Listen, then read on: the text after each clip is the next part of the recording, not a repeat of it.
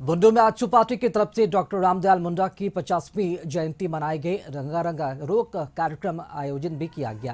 कार्यक्रम का शुभारंभ डॉक्टर मुंडा के चित्र पर सुदेश महतो ने माल्यार्पण कर किया। इस मौके पर सुदेश महतो ने कहा कि डॉक्टर रामदयाल मुंडा झारखंड के सांस्कृतिक, सामाजिक पुनर्जागरण के अग्रदूत थे। गीतों को नहीं, इनके स्वर को नहीं, बल्कि राज्य के संदर्भ में इनके राज्य के भाषाई रूप से जो परिचय स्थापित करने पर जो इनका फोकस था कि हम राज्य बिहार से भिन्न क्यों हैं? जब देश लेवल पर इस प्रदेश के मुक्ति के लिए बात होने लगी तो उसकी युक्ति में सबसे बेहतर अगर कोई कोई रिटर्न अगर कोई लेख तैयार किए तो उनमें डॉक्टर रामदयाल मुंडा भी शामिल हैं।